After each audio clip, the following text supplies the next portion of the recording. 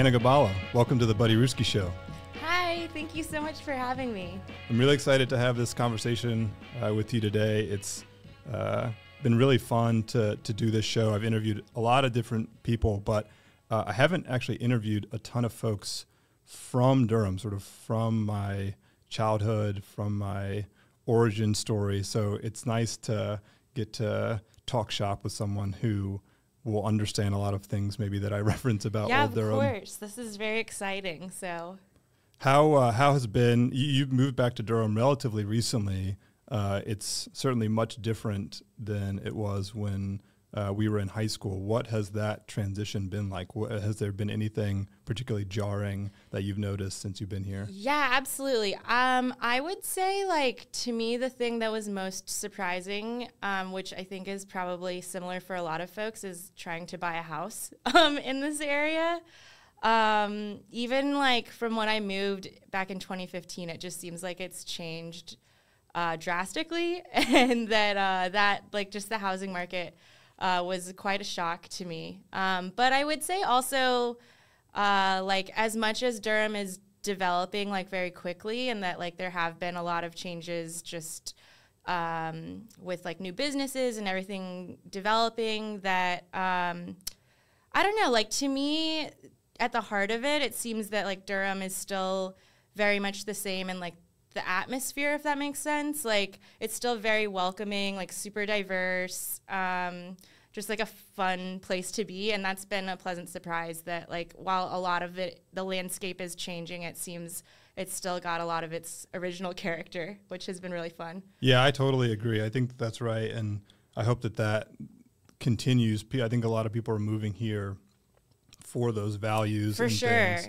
that Durham offers. So um, it's nice to be able to to share that with folks. Um, for for people that don't know, uh, Anna has a brand new business in downtown Durham, a Moon Belly Company. It's a is it a butchery? Is it is it fair to call it a, a butchery? Yeah, you know, I guess that's what would be the best way to describe it. How would you describe Moon Belly Company? So I, it's Moonbelly Meat Company is like um, a sausage and charcuterie company. So at the moment, I'm only doing pork butchery, which is why I'm kind of hesitant to go straight into calling it a butchery. Um, but I'm doing all of the processing and butchering on my own and making um, sausage and different charcuterie projects by hand. And yeah, that's that's pretty much the bulk of it. Um, the main focus is really trying to utilize sustainable farming and as as ethical as possible farming. So the company that I've been purchasing through is called Firsthand Foods, and they're actually based out of Durham as well. It's um,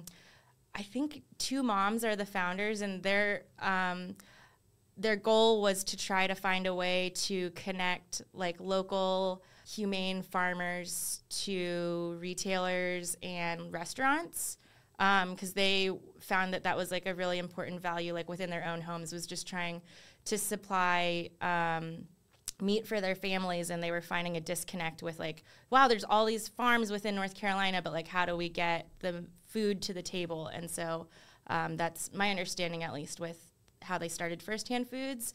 Um, and yeah i've been purchasing through them for like supplying all of the pork that i use and it's been a really awesome experience so far. They're like really on top of things and very professional. So yeah it's been great. That's super cool. I, I think you're right that uh, there's clearly a um, desire for more conscious, forward business practices in this area, um, not just on the consumer side, but also on the uh, retailer side as well. Mm-hmm. Um, and so I think being able to provide that network to make that process seamless um, is something that I imagine businesses would be uh, interested in um, attaching themselves to. yeah for sure Um, yeah, I, I definitely want to hear more about the um, the sausage and charcuterie Mm-hmm. business um, that you've got going on. Um, but really, I'd like to start where I start with a lot of folks uh, at the beginning and hear a little bit Sure. more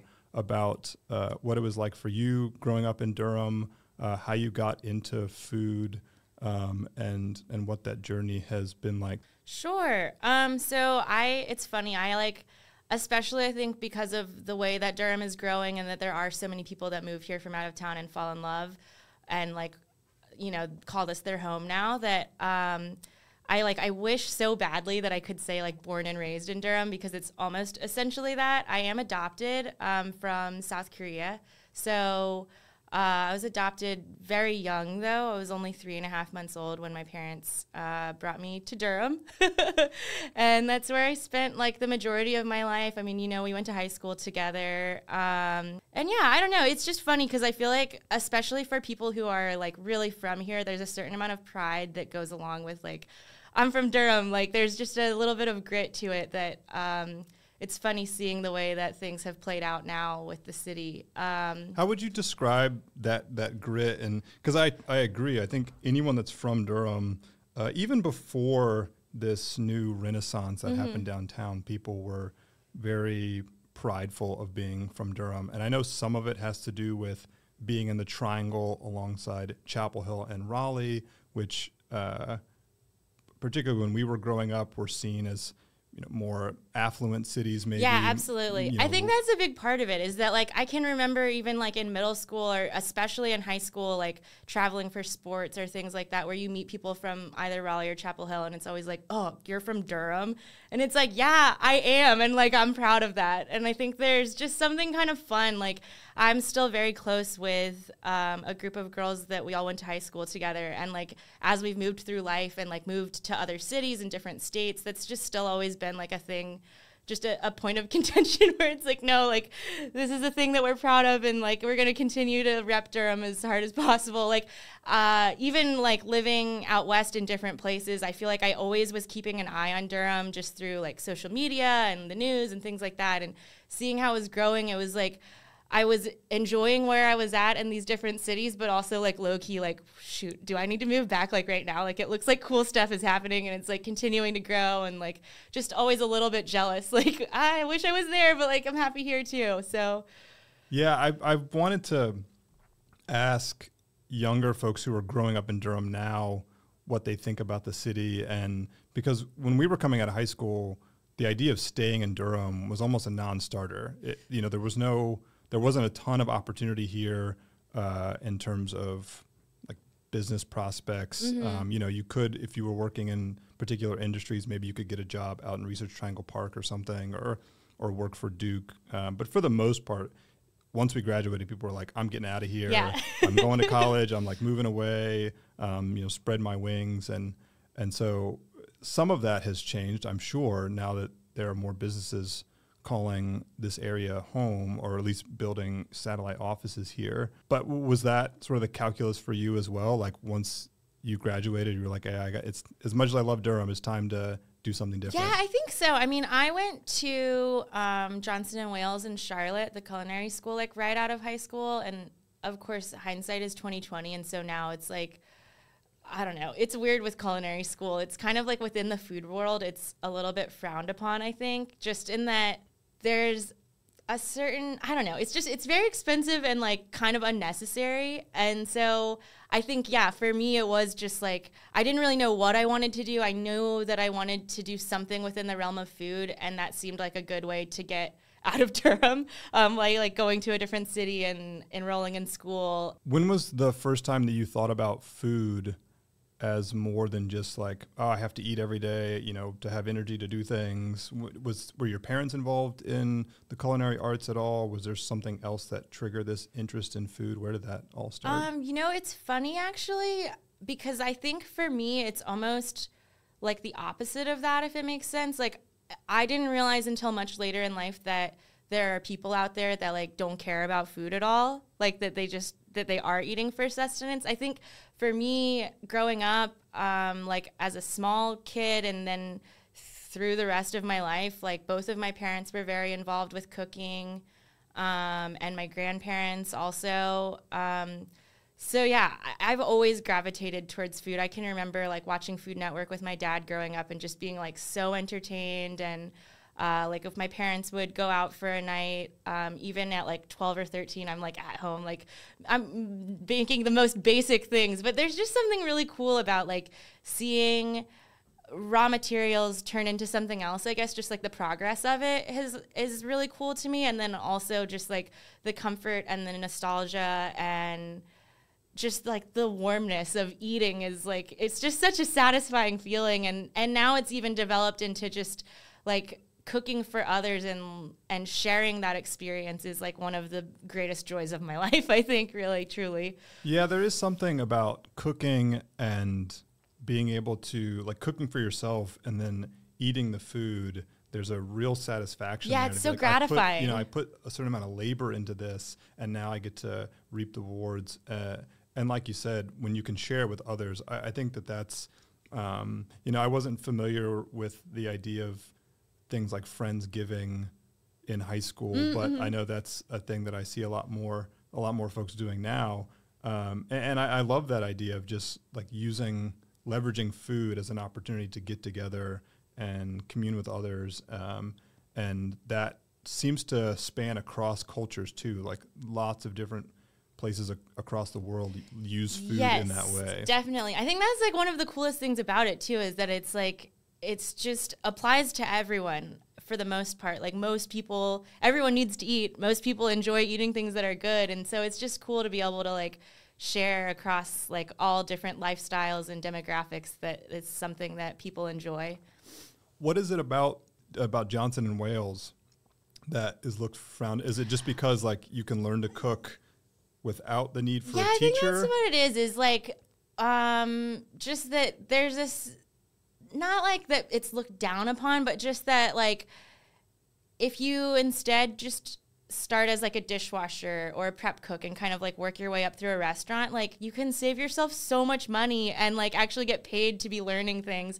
And i yeah i don't want to just like throw it under the bus like it was a terrible experience. Like i did i'm sure i learned a lot of like the fundamentals of cooking and it covers a lot of different things um, but i think just because it is so expensive and then on the other side of things that like it's not entirely necessary. Um, I, I think that like people who cook professionally, there's a certain like nod of approval that they get if they didn't go and they just kind of like ran through all of the hoops um, to Like, get to where they up in are. the ranks. Exactly. Yeah, that makes sense. It, it does seem like I mean I don't know a ton about the culinary arts, um, but you know outside of the degrees or the the professions that require degrees like medical school or being a lawyer, uh, people's minds are changing around the idea of needing Mm-hmm. a degree for a particular um, occupation. And yeah, it would have been nice if we had all learned that lesson. Yeah, a lot absolutely, right? I, I think about that a lot too because I, I work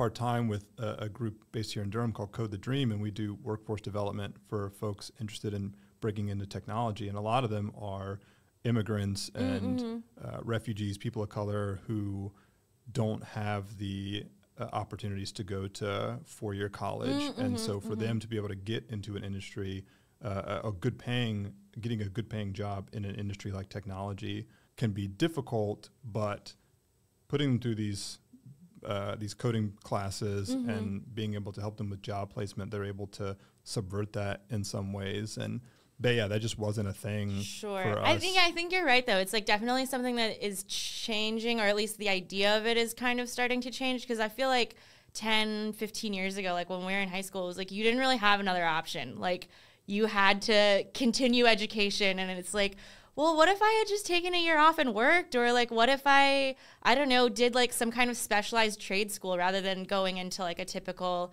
an associate's or like four year bachelor degree? Is like, there's so many options, and I just was not even aware of any of them really. Yeah, and I would say even community college. I mean, I ended up going to Durham Tech for a couple years, not right after high school, but uh, a few years after high school. And even that, I think Durham Tech was looked at almost as like the flunky school. Sure. Yeah. I, and I know what you mean. And it's too bad that it's not like more encouraged as like, no, you can do this in like the meantime while you're figuring it out, but like still continuing to progress, but not like investing, you know, like a huge chunk of money into Yeah. a four year degree.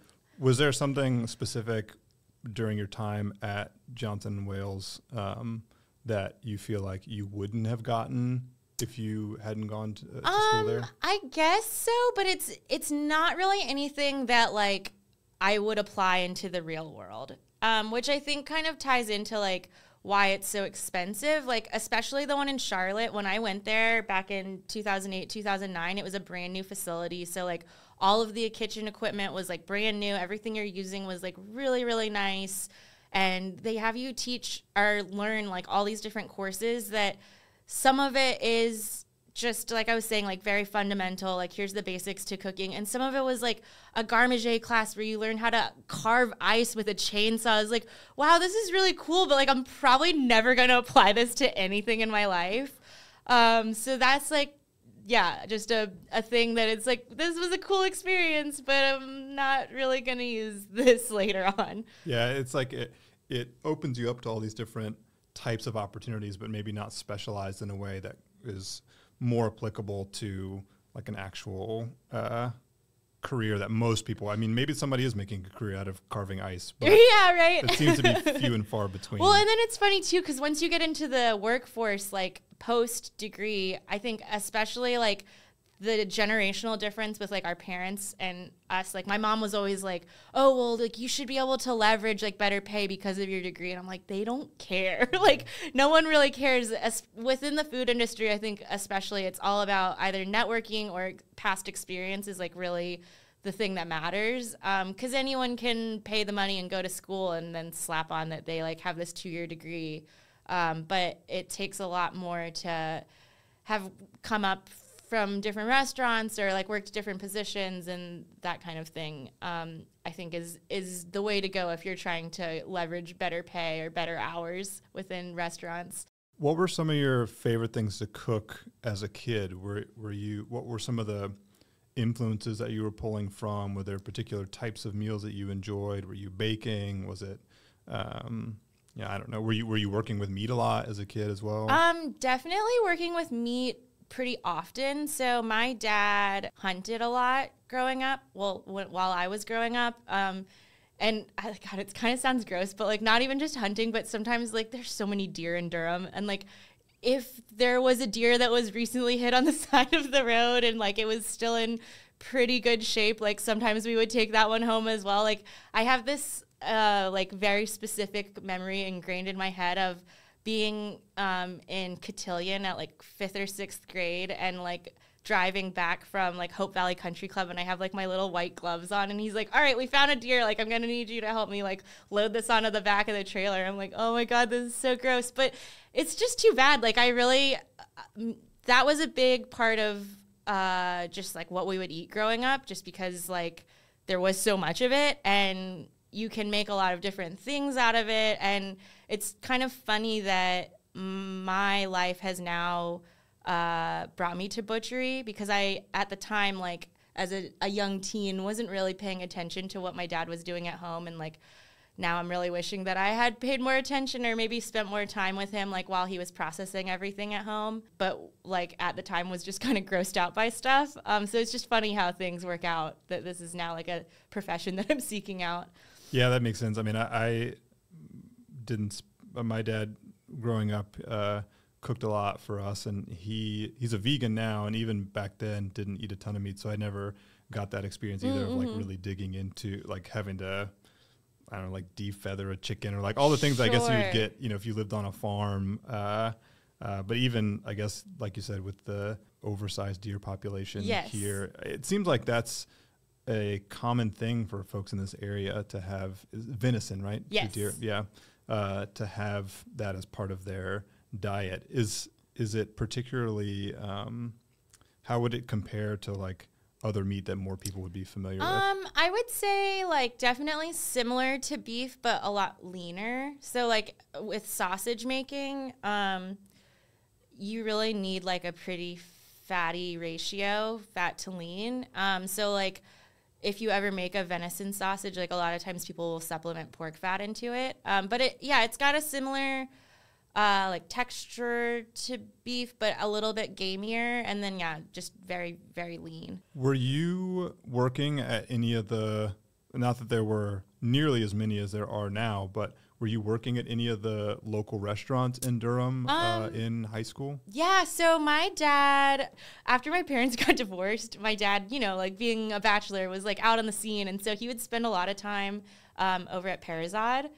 uh, which is they're still open, right? Yeah, they're, I, they're the ones over off of Erwin Yes. Road. Yeah. they're in that little Erwin Square Yeah. area. Um, so like that was kind of going on uh, when I was becoming of age to work and was already sort of thinking that food would be a good path or at least like a way to make some money while I was still in school. Um, so I picked up some shifts there, um, like before graduating. I worked um, the pastry station there for a little while. And then, other than that, I mean, after that, I went to college. And then, when I moved back, like before moving out west, I worked um, for Chirba Chirba for a while. Oh yeah, the food truck. Mhm, yeah, exactly. yeah, cool.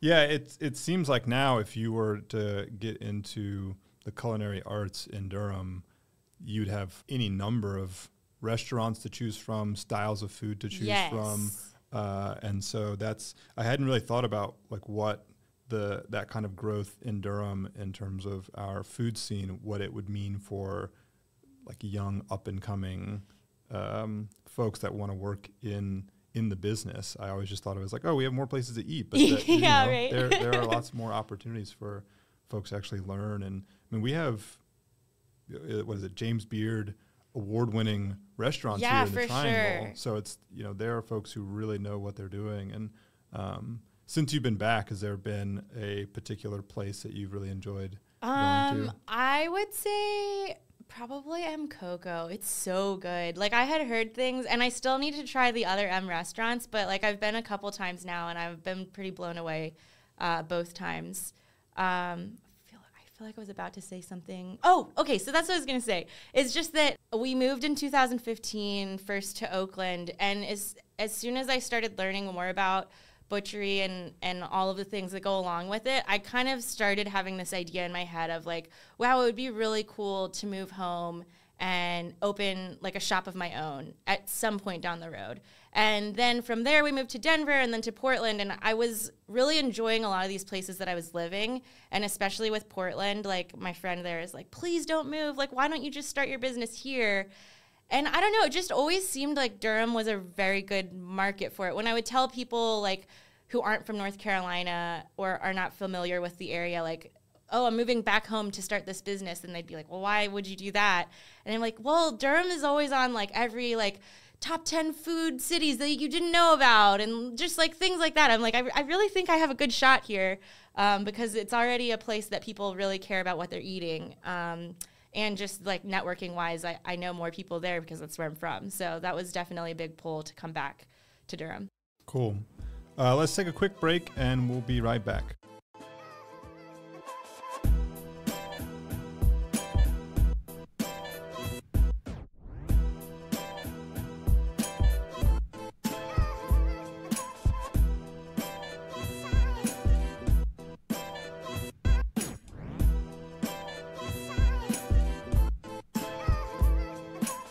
We started to head this direction in a little bit uh, before we went to break, talking about different businesses in downtown Durham, places you've worked, um, other places that you enjoy going. Uh, but why we're here is to hear more about your business. Uh, and so I'd love for you to talk about how it came together. You mentioned that you were interested in starting your own uh, food operation for some time now, but what was it that finally tipped you over into actually putting the business plan together, coming up with the, you know, the name and the logo, just like all that stuff that um, people often like don't even think about when they're starting a business, uh, but but have to get done to to get the thing rolling. Um, so if you could, yeah, share a little bit more about that sure. journey. Um, so I hope this doesn't sound bad, but I think a big part of it was just working in the food industry. I think for anyone who's done it knows that in some ways it's a lot of work for maybe at least monetarily, not like a huge reward. Like you really have to enjoy what you're doing, and and I do. Um, but just finding that like working for different people over the years, and as I was getting older, it kind of got to a point where it was like, this is very labor intensive work, and while I am enjoying it, I just feel like if I'm really going to stick with this as like a career path, then I want to be owning my own business. Um, so that was always something I had kind of thought about. And then also along those lines, just that um, like working in restaurant kitchens, like on the line, it can be really, really fun if everything's going well, even when you're super weeded. It's just like there's you're like on a high when things are going well and everything's like running out and like going the way that it should it's great but when it's not great it's like the exact opposite and like extremely stressful everyone's yelling at you and you're like really sweaty and it's just a lot so, So it is exactly like what Gordon Ramsay makes it look like on TV, is what you're saying. yeah. Um, so I think even before I moved away from Durham, I was at least interested in like how can I stay within the food industry because this is something that I'm passionate about, but maybe not be like a line cook or a sous chef or something that's gonna be like restaurant hours and and just that atmosphere. Um, What was the hardest part about that? Like, what are the? You don't have to tell any war stories if you don't want, but was there, you know, working, I guess back of house you would call it. Mm-hmm. Um, what you mentioned the being on a high when things are good and it being a disaster when things are bad. But there is there a particular part of that experience that like really weighs on you to the point where you're like, yeah, I, I gotta, I gotta get out Um, of this. I think just like the stress of it, and then that it's also very physically exhausting. That like, if you're going through all of that work and you're not having a good time, that it's like this is maybe not for me. Um, and the late hours too. yeah, there's just a imagine, lot of factors, like the hours for sure, because it, it changes like what you're able to do, um, like socially and just like in life. If if I don't know, with like most Monday through Friday jobs, you have a very set schedule. You can plan things ahead of time, but a lot of times with kitchen work, it's like the sous chef is making the schedule like week by week. So if you're like, oh, am I going to be free that like Sunday four weeks from now? Like I have actually no idea. Um, like scheduling was always really stressful to me, and yeah, just just the hours and like um, yeah, that it's it's very hard work and um, it's not a great feeling when things are not going well because people get mad and then you just sort of take it out on yourself. Um, so yeah, I think before I even moved, just the idea of like how can I stay within this food industry but sort of pivot what I'm doing. And uh, also just that I had always sort of had a, an interest in meat because it's something that I've enjoyed eating. Um, that was sort of like, wow, if I could find like any kind of job within butchery, that would be really, really cool. Um, and then after moving to the Bay Area, like the first um, place that I went and staged at, which is like an, an interview essentially, um, was this restaurant Clove & Hoof in Oakland. Um, and they're essentially like a sandwich shop, but also a whole animal butchery. Um, and they're conjoined. Um, and like a lot of the things that are being processed and made in the butchery side of thing are then used for sandwiches. Um, so I got a job there just working on the line, which was a lot of fun too. Like I learned a lot. I worked with some really amazing people. Um, Were you working on both sides of the business? um, so I, I just started like with the sandwich side of things, and um, I mean, and it was really cool too. I think you always hear like growing up on the East Coast, they're like, oh, California is like ahead of the like just in general, like ahead of all the trends, and especially with food. Like I just don't think I really knew what I was getting myself into. But as soon as I got there, it was like every like cook that I met and just people that I was working with, it was like, psh, like, wow, I've never thought to do that, or just like all these crazy things, like learning constantly and feeling like you're just a sponge, like trying to absorb everything. And I going into that job knew like, hey, maybe this could be. They even put it in the ad, like potential butcher shifts, like if you're interested. Um, which at the time too, like I had no knowledge of anything. And I think that's what's so interesting about butchery is like I I feel even kind of weird after like the 6 or 7 years that I've been doing this like calling myself a butcher because I'm very familiar with pork butchery and like could totally do like a full lamb and chicken obviously as well, but with beef like steers are so large that even though every animal is the same, like you're going to have all of the same muscles because beef is so large, there's like the muscles are humongous. So like seaming all of those out, you just have many more options for different cuts of meat, if that makes sense. Like something that like a whole pork shoulder you may keep whole and like bone out and make into a roast or just take like one part of that and use it for something else. But with beef, like that piece of chuck is massive and there's like many different steaks just within that one primal or subprimal.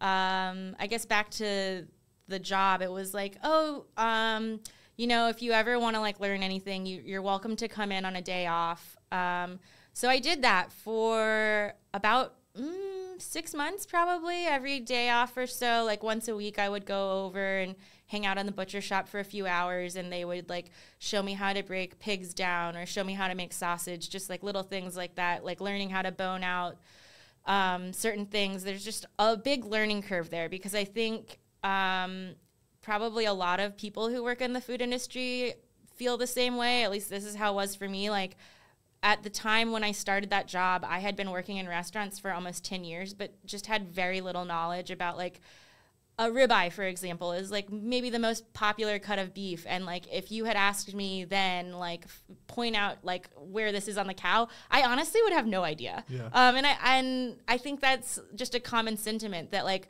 while a lot of people are familiar with cooking meat, they just don't know that much about it. Um, so all of that was brand new to me, and I'm so so grateful that the folks over there were like so eager to teach because sometimes I think this industry can get like a little bit gatekeepy just about like well no this is how we do things. Just i think more old school butchers it's like you know they're reluctant to teach people things. And i really lucked out um, into a team that was like super knowledgeable but also like very eager and open to sharing their wealth of knowledge. So it worked out great for me.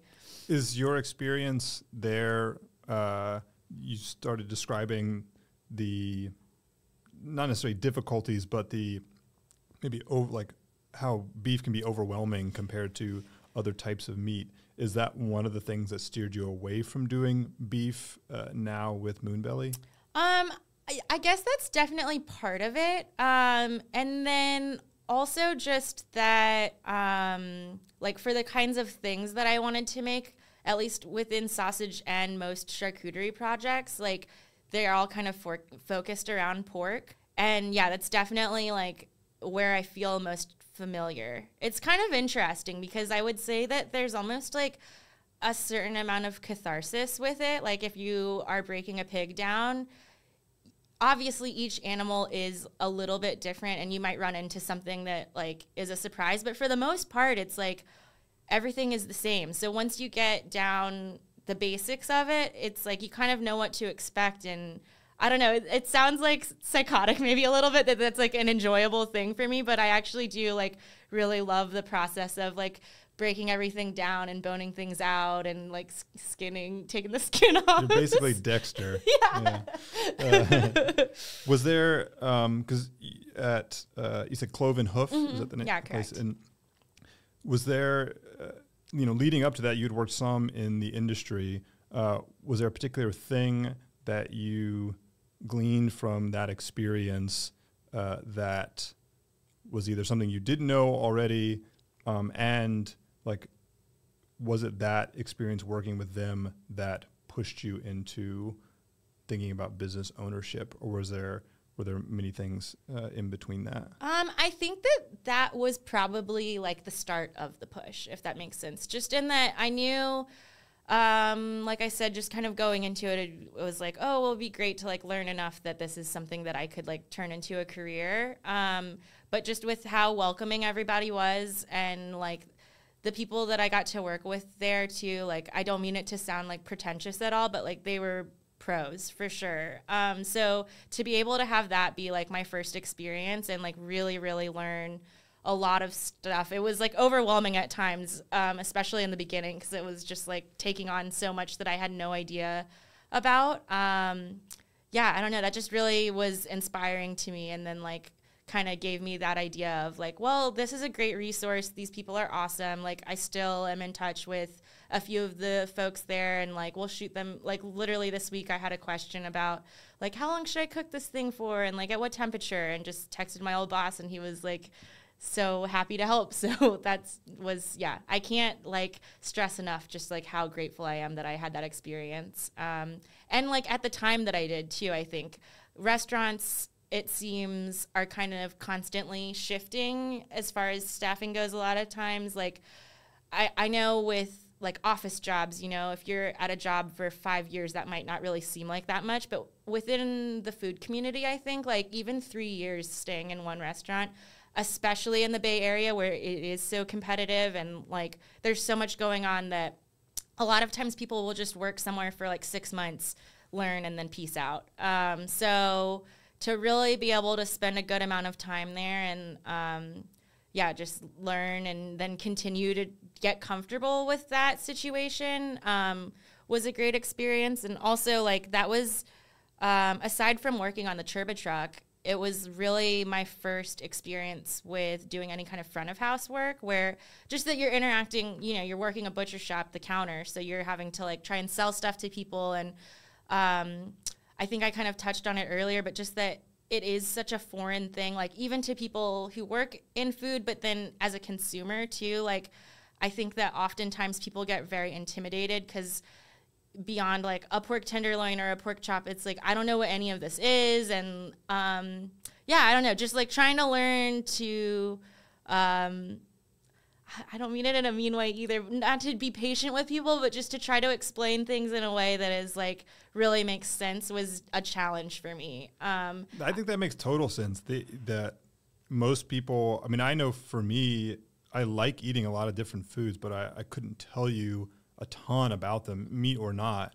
Uh, and so I, I, think that there is a, hopefully, there is a curiosity there from the consumer, um, and they're willing to come and ask questions. And then to your point, you probably do have to be somewhat patient because as you get involved in the business and become more knowledgeable, it, it's so secondhand that you forget, like, oh yeah, these people don't have the, you know, depth of knowledge that I have about these different pieces of meat and how they work and what to put them in, like how to cook them, all that kind of stuff. So, um, yeah, you're both a, um, you know, you're you're a butcher, but you're also a, a teacher in a lot of ways in mm-hmm. that moment. Well, and it was just so funny too, because especially in the beginning, it would be like, so I don't know, someone would come up and be like, "Oh, top sirloin, like how do I cook this?" And I'm like, uh, "I gotta run to the bathroom really quick," and then just like Google on my phone, like, "What do I do?" But uh, yeah, it's just funny. Like there are certain things, uh, I think, especially like that with butchery there's not a wide knowledge with where even like the internet sometimes is not a great resource like you really need to either have like um, there's a few books that are really helpful and yeah just knowing people who already know know the stuff is has been immensely helpful i think that that's always the fallback for me before i start thinking about google or even books is like do i know somebody that's doing this right now. Yeah, and has or, the experience, like yeah. real life experience with this. Because you can, with that too, I find that you can cater it more to your own experience. Sometimes you read about a, a subject and you're like, okay, I, I, get the the basics, but like I have a very specific need. Yeah, you can't ask a follow up question. Right. uh, so having those mentors that are able to share that knowledge with you and get into the nuances um, can really speed things along, and and and you know it builds a, a good community around the art form as well, whatever it is, and that is really how um, it sounds like your experience uh, in San Francisco, like that that is still very meaningful to you as you're thinking about building your own business and being able to text them with questions. Yeah, for sure, for sure. When when you started um, Moonbelly, were you thinking that it would be in Durham, or had you already moved back here um, before generating the business idea, or were you already thinking about it before you came? Um, definitely Durham? thinking about it before. Like I would say, even at the point of like leaving Oakland. So we did. Uh, I lived in Oakland for about three years, and then my partner Hart got a job in Denver. So we moved to Denver for like a year. He was there a little bit longer because he moved ahead of me. Um, and then we were just in Portland for the last two years. Um, but I would say like maybe in between the move from Oakland to Denver, and then also like no shade to Denver, but it just like wasn't a great fit for me. And so being there, it was kind of like, well, do we go from here, move back to Durham, or should I continue to just try and like gain more experience and uh, maybe like move somewhere else on this side of the country? Um, but yeah, it, it became pretty apparent to me like once I felt confident enough that like I'm gaining enough experience that this is something that I could do on my own.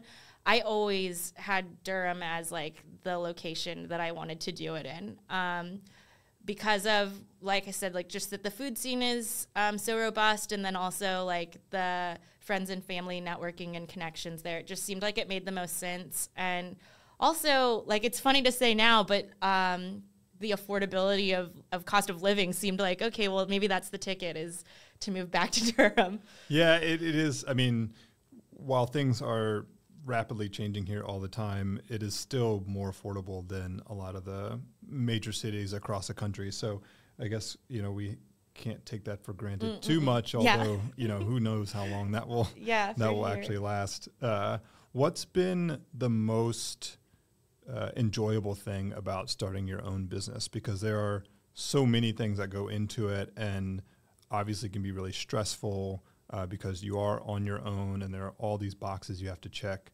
Uh, but there are these little moments I've found that really make it feel worthwhile, and I'm wondering if there are some of those for you and if you would share yeah that's a great question. Um, i would say just right off the bat probably like the freedom of it. Um, i knew right away with um, just like how i wanted my business to present itself as far as like branding and that kind of thing goes that um, it just seems like with a lot of these smaller butcher shops and I, I don't mean it in an offensive way at all but just that they're often a very specific type of like black and white with like a cleaver as the logo and it's just very rigid.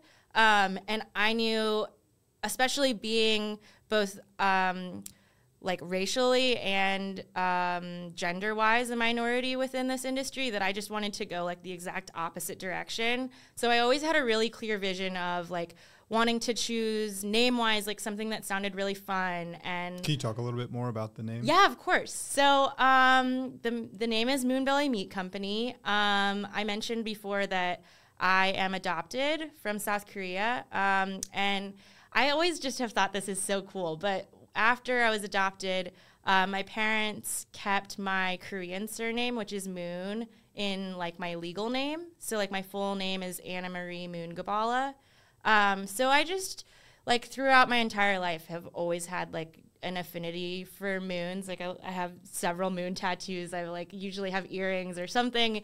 I've always gravitated just towards that because it seems like one way that can kind of tie me to my roots um, in a way that nothing else really can. Um, and then belly being something that, especially with pork, is like a very prized cut. You can make pancetta or bacon or just eat it as like a braised or roasted pork belly is delicious. Um, and I think maybe it was um, my partner Hart who first kind of put the two words together and we were like wow that like i think he said it to like my dog or something. Oh like you little moon belly. And i just thought that that sounded really cute and had like a kind of fun ring to it. Um, and we kind of workshopped like a few other things, but I just kept coming back to that. Um, and actually had someone over the summer point out to me like, "Oh, my daughter's a doula," and like that's actually like a pregnancy term, which I tried huh. to sort of like survey people after I had committed to being like, "This is what I'm going with," and no one else had heard of that, so um, I stuck with it, and now I'm really happy that I did because I I just think it's cute and it gives maybe a little bit more personality to things. Um, and yeah, I just think it's fun. So I love that. I, I it's really, I, I think because the same thing for me. Buddy Ruski was a nickname that my dad used for me a lot uh, when I was a kid, and so as I was thinking about branding uh, as an adult, uh, both even before I started doing the this podcasting business, like when I got online, mm, basically, mm-hmm. like when it was time to come up with Twitter handles and all that kind of sure. stuff. I was like, well, I kind of like that Buddy Ruski thing. And to your point, it, it roots you in a sense of uh, place and family, and and it's a nice. I mean, I really enjoyed hearing you tell your story. Like I, there, there's something there. It's not just a word, but there's a lot of um, history behind it and meaning. And so I, I find that those types of uh, brand stories really mm. resonate with folks. Um, and to your point, too, to differentiate from the other types of businesses that are in the industry, you've very much made it your own. And I, I think it really fits the your personality and just like the thing that you're bringing to the industry. So that's really cool. Yeah, awesome. Thank you so much. Yeah, I mean, I even aside from the name, I just knew like right from the start, like I really want this to be as welcoming as possible because, kind of like what I was saying before, I just feel like there's a certain amount of like condescension sometimes because this whole industry is so foreign to people as a consumer where you can go into a place and like immediately feel very intimidated or like just feel silly for asking certain questions. And like I just my whole goal with this entire business is to just do like the opposite of that and try and make it as inclusive as a space as possible and just like fun and um, the graphic designer that helped me with my branding is actually Hart's brother. Um, so it was nice because he made things very communicative. But very from the very beginning, I was like, I just want to use like fun, like retro font, like a lot of bright colors, and just make it like really, really cute. And yeah, just the opposite of what most people are doing right now with this industry. Yeah.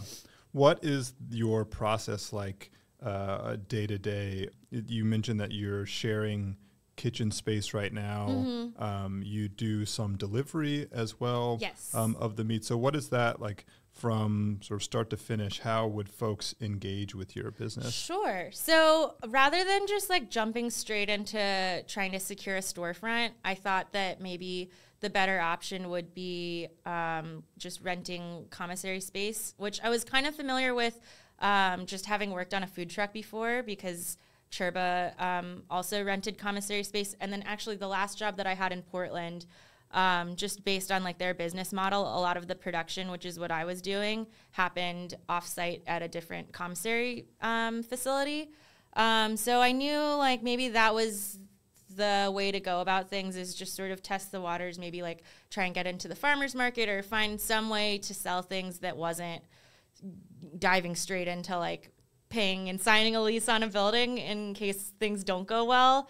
Um, but yeah, right now I'm over at the Red Start Food Commissary, and they like Matt, the owner, has been so so so helpful and just really really nice about everything. Um, so I'm extremely grateful to be there. Um, but right now, I usually um, will try to like update my website every Sunday, just um, like the online store of like, here's what I'm gonna have this week. Um, and then on Mondays, usually I'll go in and sort of have like a prep list in mind of the stuff that I'm going to be making throughout the week and go ahead and like mise out all of my little spice kits that I'm going to need and measure everything out. Um, Tuesdays are when um, Firsthand receives their orders. So I either will have mine delivered or go pick up like whatever pork I'm going to be using. Um, and at the moment, I would love to eventually switch to doing like only whole animal. Um, but right now, I'm just like not quite moving enough. So what I've been doing is ordering like maybe a shoulder or two one week and then half of a hog the next week and sort of alternating back and forth. Um, so yeah, Tuesday I get the pork. I do most of the butchering and like deboning everything and just sort of like um, assigning like this trim is going to this project or like I'm gonna make hams out of this. Um, and then Wednesday is like my big production day and kind of dribbles into Thursday depending on how much I get done on Wednesday. Uh, try to package everything on Thursday and then I deliver it all on Friday. Um, and then for anyone that doesn't want their stuff delivered, um, they're able to pick it up the following like Monday and Tuesday over at the commissary. So I'm still kind of working the kinks out, but that's what I'm working with right now. So that's super cool. Yeah, I, I think it, you're right that it was smart to get your feet wet, figuring out um, the process, and uh, that's that's always been the uh, sort of Durham model. I think for a lot of restaurants here. I, I remember, I guess in like 2014, 15, um, Pie Pushers was a food truck, and then I, I will not take credit for them getting brick and mortar, but I did advocate a lot on Twitter mm-hmm. for them to eventually get a brick and mortar, um, just because I, I enjoyed their pizza so much. It's so good. I'm so happy to see that like that's a thriving business too, because I feel like when I moved away, I don't know that they had the brick and mortar yet, but I was definitely familiar with them, just working all the different food truck rodeos, and we actually both. At least when I started with Chirba, we're using the cookery as our commissary space, so we would kind of run into each other every now and then. Um, and yeah, their food is so good. So yeah, I'm just like so happy for them. Yeah, and th- there are a bunch of other spots too. Um, Boricua Soul, uh, I've worked there uh, on and off for a few years. They were a food truck. I guess they still have the truck, but um, have a brick and mortar mm-hmm. space now. Um, so that model seems to work. And it also reminds me like how invested Durham gets in its restaurants or just in its businesses in general. Like to see people make that climb from you know small food truck or sort of independent business into brick and mortar into like having you know storefronts and employees like all that kind of stuff uh, is is really cool and and I hope that that continues to be a sustainable model for folks that Yes. it doesn't get so uh, expensive here that people can't sort of graduate um, through those different levels of business. What has been your favorite thing that you've been uh, cooking or like putting together since you started Moonbelly? Um, okay, this is gonna sound silly, but I think actually um, hot dogs. like I I would guess that most people don't know that it, it's actually fairly technical um, because any type of uh, product like that, like a hot dog or bologna or mortadella, something that's very smooth like that, texturally, like if you think about when you cut one in half, it's like one cohesive piece rather than a sausage where it looks like ground meat. Um, it's because it's emulsified in that you're bringing, you start with like fat and lean as two separate things and you're like emulsifying them together. Um, so it's actually quite difficult to do, not to toot my own horn, but like I think it's it's been an obstacle throughout the years at the different places that I've worked. It's always been something that's been a little bit stressful um, to try and complete correctly. Um, and it even this go around, like I thought the first time I did it, I was like, oh, whatever. Like I have so much experience doing this, it's gonna be easy. And the first batch I was not super pleased with. Um, but just in the last two weeks, I've kind of tweaked some methods and uh, just certain things that I'm doing. And this most recent batch that I came out with, I was just like beaming because I was so happy with how they came out. Is there a certain way that you, um, you know, once the hot dog is made, I've seen a couple photos on your Instagram. It looks like it's more elaborate than just like your ballpark Frank. You know, you're not just like throwing ketchup on it and serving it. They they look like. Um, I don't. I mean, I don't know. They look like very um, interesting presentations. Yeah, I don't know. Flavor wise, I think I am trying to just like, s- at, at least for the hot dog itself, like trying to keep it as uh, basic as possible. Like I, uh, Matt, the owner of Red Start, he has, I think she's maybe like a year and a half, a small child. Mm, she might be two. I should I should probably know that. Um, but she came in the other day when I happened to be like cooking off a test batch, and they took a couple home. And he was like, "Oh yeah, like Romy loved it. It was awesome." I was like, "That's exactly what I want to hear." Like as far as just like a this is just so silly because they're hot dogs. But as far as just like a basic hot dog goes, it'd be great if like the flavor matches up with what people want to expect out of a hot dog. But to know that like it's all coming from like local sustainable farms because that's definitely not going to be the case with like an Oscar Mayer Frank. So I'm, I am definitely trying to like stick with flavors that people are familiar with, but maybe elevate them to some extent. And then, uh, yeah, definitely like toppings uh, make things really fun. And, and there's just like so many options too when you're starting from a pretty neutral base of just a hot dog. yeah, are you experimenting at all with like?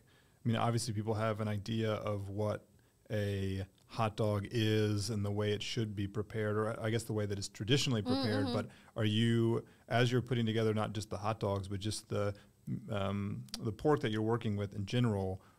Like, what's that experimentation process like? Are you uh, bringing in other types of spices that people don't normally combine with pork, or are there different toppings that you might be using on a hot dog that people aren't expecting? Yeah, I think that's a big part of it. Um, kind of to get back to your previous question too about um, just like what's been the most fun about um, starting a business is um, it all sort of goes back to Clove & Hoof. Like the whole thing there was that I did have a certain amount of freedom. Like there was always staple flavors that I had to make every single week for the case, but they usually would let me just sort of for one of them, like think of whatever I wanted to do and just do that. Um, and that's been a really really fun part of this is that now that i'm the owner of the business i can kind of as within a certain amount of means like if it's you want it obviously to be something that other people are going to enjoy but I, I, that was definitely a big part of the business model too is like let how can i make this like really fun and just not in like a gross way, but also kind of a gross way. Like, what's like just like stoner, like crazy, weird combinations that like you wouldn't see typically just at like a farmer's market or in the Whole Foods butcher case. Um, like, I'm trying to think of some of the more fun ones that I've done. Um, I once made like a uh, chicken sausage that I modeled after. Uh, the barbecue chicken pizza at California Pizza Kitchen. Um, so and I think that one came out really well. Like it had like a that barbecuey flavor, but then also like cilantro and a little bit of pork to like be the bacon part of it or just other like fun ideas like that. Um, I've done like an anchovy pizza sausage that I think maybe not everyone loves anchovies. I really do, but yeah, just trying to make it uh, a more unique and like really really fun, very full of flavor flavors. That's really cool. Uh, yeah, I'm not a big fan of anchovies, but yeah. honestly, like I would be worth uh, it would be worth trying it just to yeah see yeah, what so kind of good. things they're you're just putting like together. salty and briny and yeah, I'm into it. Do you have a favorite food that you like to work with um, outside of pork? Um, I would say probably eggs. I know that's like kind of a weird one, but I just think they're like so fun to cook because you can cook them so many different ways. And like as simple as it is uh i think if you're really trying to get like the perfect egg there's actually a little bit of like you have to be really delicate i always like Hart will sometimes hear me screaming from the kitchen because i'm like making eggs in the morning and if i break the yolk like while it's coming out of the shell i like scream because i'm like no that's like the one thing i was looking forward to is like having the perfect runny yolk um so yeah, I think just that you can like boil them, like soft boil them, make egg salad. I don't know. That's also starting to sound silly, but just that there's like so many options and different ways to cook them and that it can get kind of technical, I think is just really fun and delicious too. Yeah, I think eggs, I mean, I learned to cook eggs from a pretty early age and I feel like they're a good like starter food. Yeah, absolutely. If you're trying to learn how to cook. Yes. Yeah, because they can be very basic, and then you can also like get kind of weird with it and make it like a whole different experience. So yeah, that's always been really fun to me. Yeah, they they blend well with other things. Like you can make, um, I mean, I guess folks put eggs in you know ramen dishes. Mm-hmm. They, you know you can make breakfast burritos with eggs. You can do all kinds of different things. Um, so yeah, it is another food that's like really. Um, it sounds like similar to pork that you can um, like mix and match and, mm-hmm. and, sort of use it as this base to combine with a lot of different things, which is really neat. Um, cool. Well, yeah, I, I, have really enjoyed hearing about uh, all the things that you've learned over the years uh, in, in, your experience in the culinary arts and how that's culminated in this business that you've, uh, thankfully for all of us, brought back to Durham. Uh, I, have noticed that more and more that people um, who you know we grew up with or who are from this area are finding their way back here. Um, you know, Durham is calling out to them. Yes, so for sure. It's really cool to see that and um, you know all these different gifts that people have uh, accumulated in these different parts of the country or the world um, are now making their way back to Durham and are, are adding to this um, really yeah special places. I, I, I find that like as much as I um, am you know talk shit on Twitter about things that are happening here or the way it's changing mm-hmm. or you know all that stuff, I, I, still like really enjoy being here and yes. enjoy seeing other people appreciate what's going on here. So um, yeah, maybe to close, eh, we talked about it a little bit at the beginning, but just um, what do you look forward to uh, now being back in Durham, both just sort of as an individual, but also as a business owner?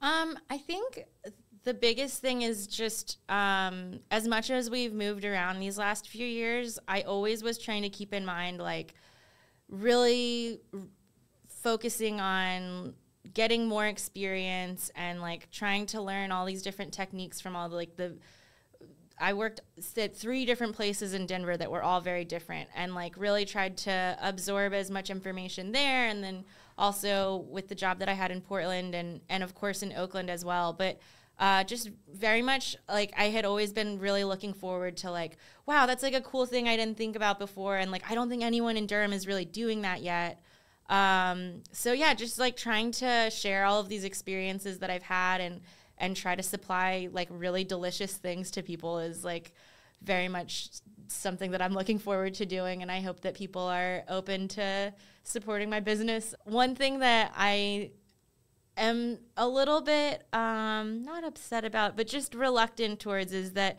I know that what I'm selling is is pretty expensive, um, and I just would love for people to have an understanding of like what's behind that. Just that um, I think there is a little bit of a disconnect there where when people are so used to only buying like commercially processed and industrialized meat that you're getting a very different product. And so, of course, it's going to be much less expensive, but the quality, like, not to be like on a soapbox about things either, but I just think this is your platform. you should, yeah, speak your mind because um, I, I agree.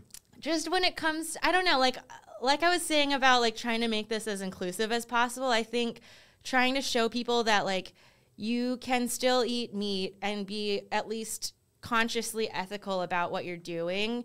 And maybe that means like not eating meat with every single meal, but spending the money and the time and putting in the research to doing something that is hopefully a little bit more sustainable or that um, is just a better product and like really um, prioritizing that over like this is cheaper and so I'm going to spend money on that um, is is a big obstacle with this business. I feel like.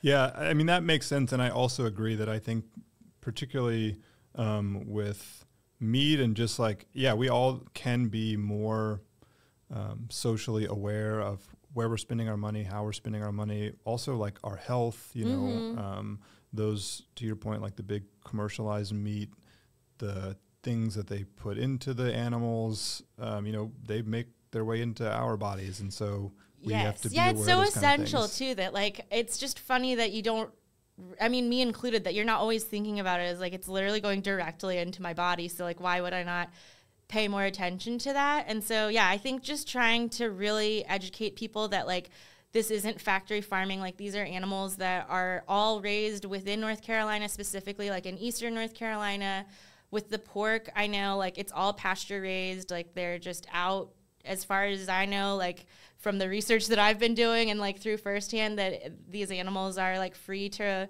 roam and range and um, yeah, it's just it's amazing. Like the quality is so much better. You can just it's like visible in a, in a raw cut of just like a pork chop that it's like wow that like looks better. Um, so yeah, I think everyone always is like oh you must eat so much meat. And I mean aside from like the stuff that I'm making that I have to try, like I really uh, I would say actually the more that I've learned about the meat industry and the longer that I've been doing this, I actually eat less meat than I used too. Um, I'm eating like more of a variety of things and like trying to utilize different cuts that maybe I wasn't before now that I'm aware of them. Um, and that's like really a big key behind trying to keep things sustainable too is like not just going straight for the fillet or the ribeye and like, oh, what's this hanger steak? Like that sounds interesting or just like just trying to learn more about there's just so much to know. So Yeah, I agree and, and I hope folks will um, consider that and